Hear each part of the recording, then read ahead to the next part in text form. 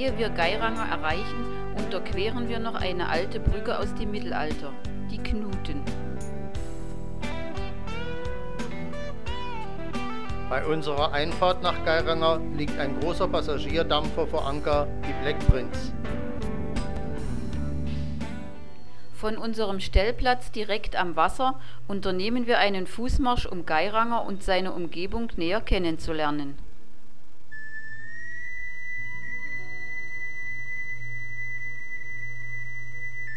Vorbei am Geiranger Hotel geht es bergauf und wir haben einen schönen Ausblick über den Campingplatz und den Fjord.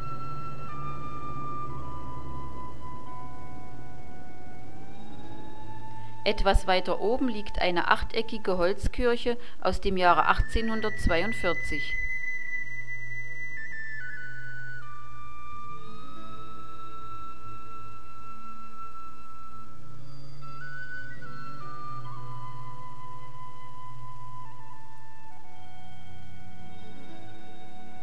Spät abends kehren Paddler von ihrem Ausflug in den Geiranger Fjord zurück.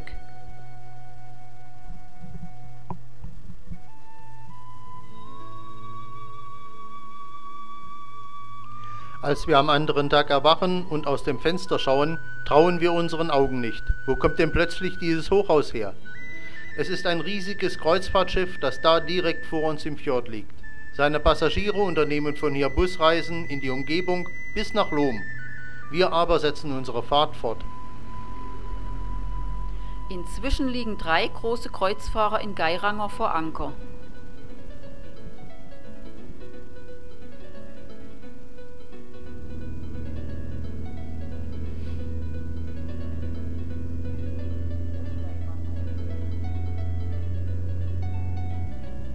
Wir durchfahren Geiranger und steuern auf die Irnewein, den Adlerstiegen zu.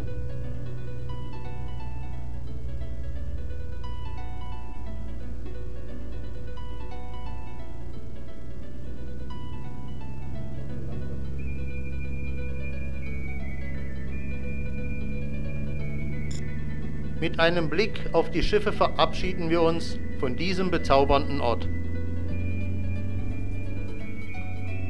Hoch und höher quält sich unser Wohnmobil im ersten und zweiten Gang.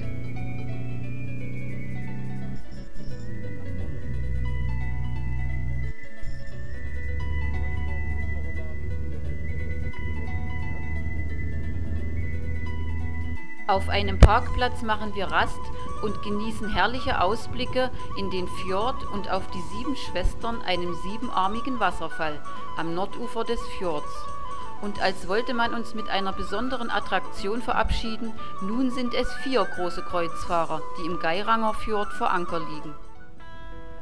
Als wir unsere Fahrt fortsetzen, standen auf einmal Kühe auf der Fahrbahn, die beim vorsichtigen Vorbeifahren langsam Platz machen. Auf solche Situationen muss der Autofahrer hier gefasst sein.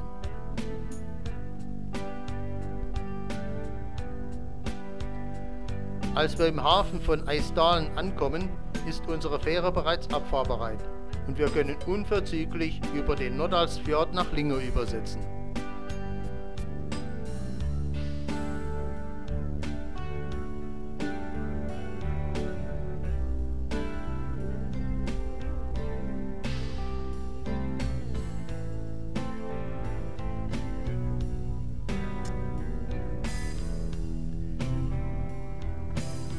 Erreichen wir über die E650 das am Atlantik gelegene Orlesund.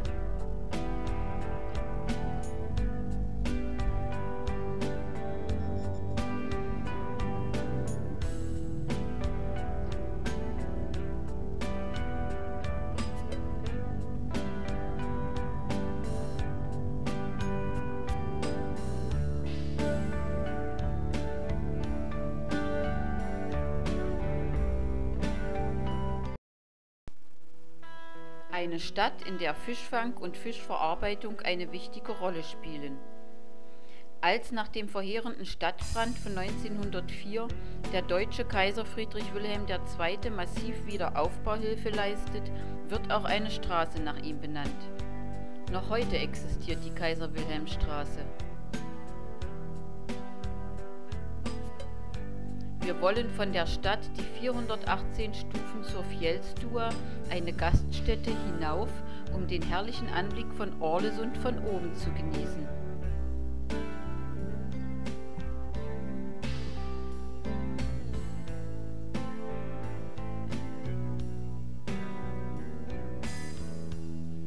Über dem Yachthafen mit dem Fischmarkt leuchtet hoch oben Fjellstua. Kleine und ganz große Yachten haben hier festgemacht.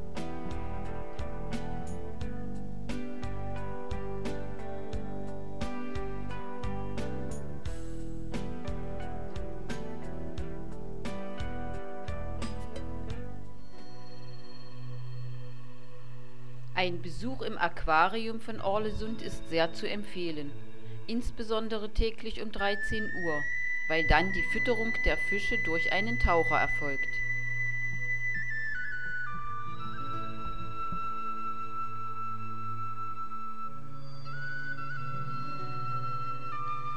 Zu sehen sind einheimische Fische, so Steinbeißer, Lachse, Heil- und Steinbutt und Dorsche.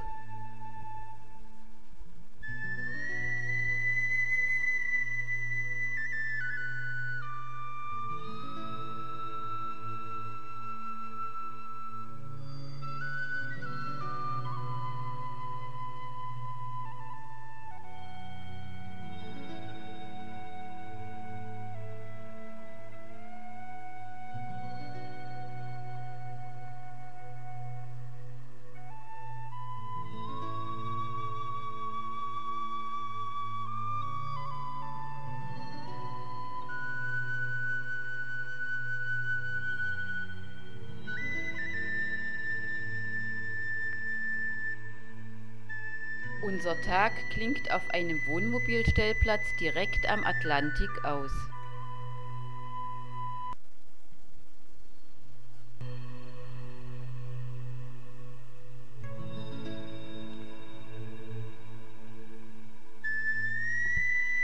Unser nächstes Ziel heißt Andalsnes, wobei wir die Strecke über die bekannten Trollstiegen nehmen.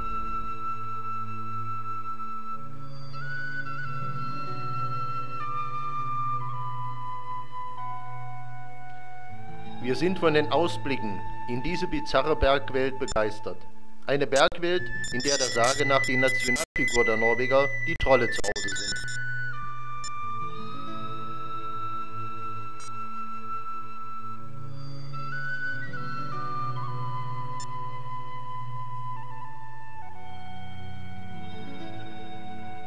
Wie eng es auf diesen Straßen zugeht, zeigen diese Bilder.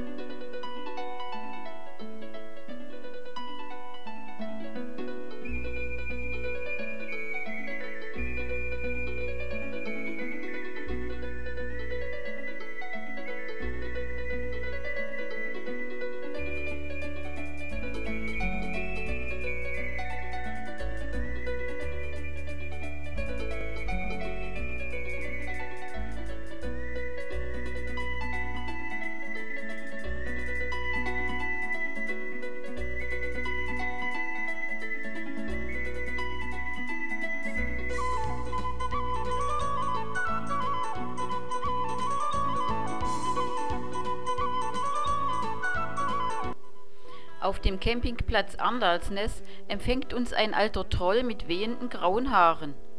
Auf diesem wegen seiner Lage an die Alpen erinnernden Fünf-Sterne-Platz werden wir zum ersten Mal nach unserer ADAC-Karte gefragt und erhalten prompt 10% Rabatt. Nach einem kurzen Abstecher in das malerisch gelegene Andersness, dem nördlichsten Punkt unserer Rundreise, ging es von nun an immer südlich. Vorbei an den ca. 1000 Meter fast senkrecht in den Himmel rackenden Trollwecken, etwas südlich von Andersness gelegen,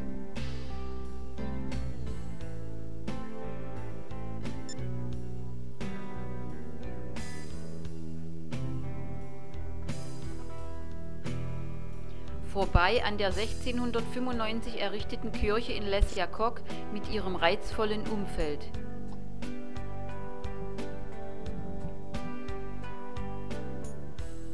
Vorbei an weiteren Elchwarnschildern hinein in eine seichter werdende Landschaft, die auch breitere und bessere Straßen hatte. Zu unserem Ziel der Olympiastadt Lillehammer.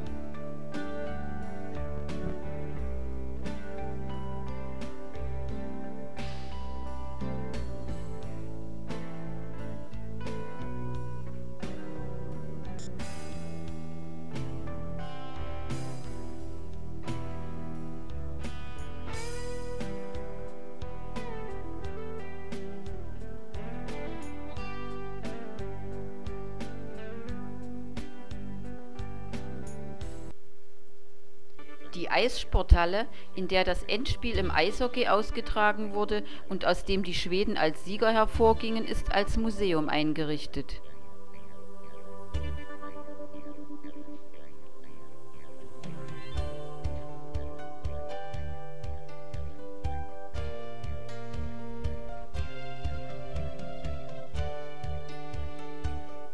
Es zeigt die Spiele der Neuzeit vom Beginn bis heute.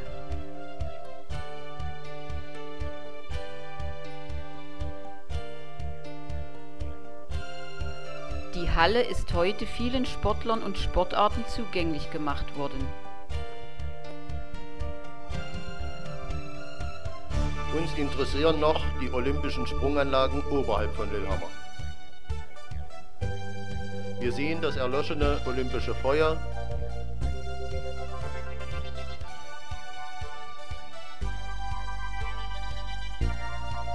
und die große und die kleine Schanze. Auf der kleinen Schanze findet gerade ein Mattenspringen statt, wobei Weiten von 70 bis 80 Metern erreicht werden.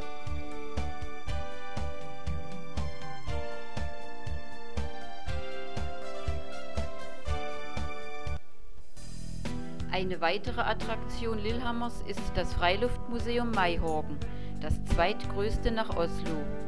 Hier sind Baustile und Lebensgewohnheiten der Norweger vom Mittelalter bis heute dargestellt zum Beispiel die Kapelle von 1459.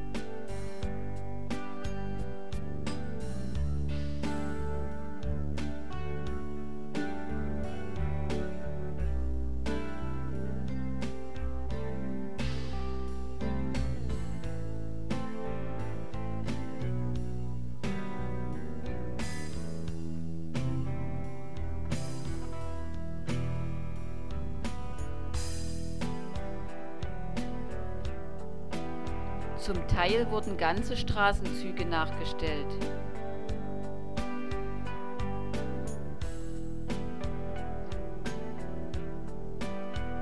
Auch die Bäckerei, die für Touristen noch in Betrieb ist.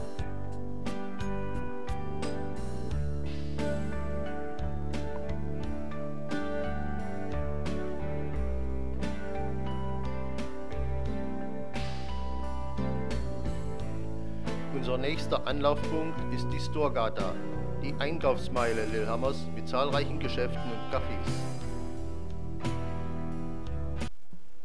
Nach ca. 170 Kilometern erreichen wir Oslo und sehen uns die berühmte Holmenkollenschanze an.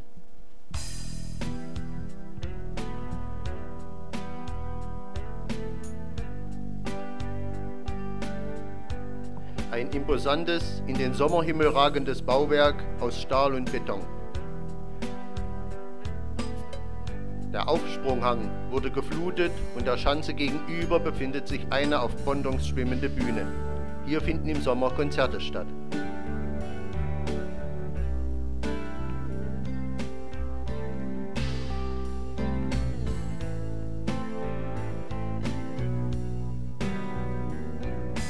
Wir entrichten unsere Mautgebühr und fahren nun immer südwärts der schwedischen Grenze entgegen.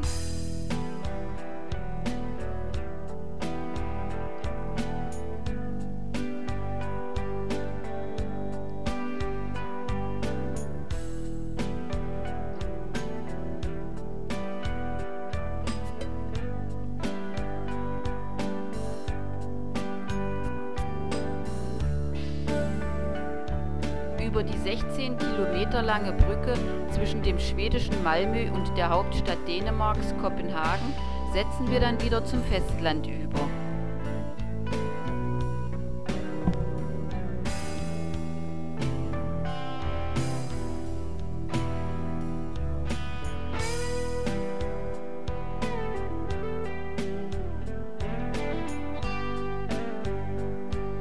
Eine wunderschöne 4400 Kilometer lange Reise ist zu Ende. Und ist doch nur ein Anfang, denn Norwegen, wir kommen wieder.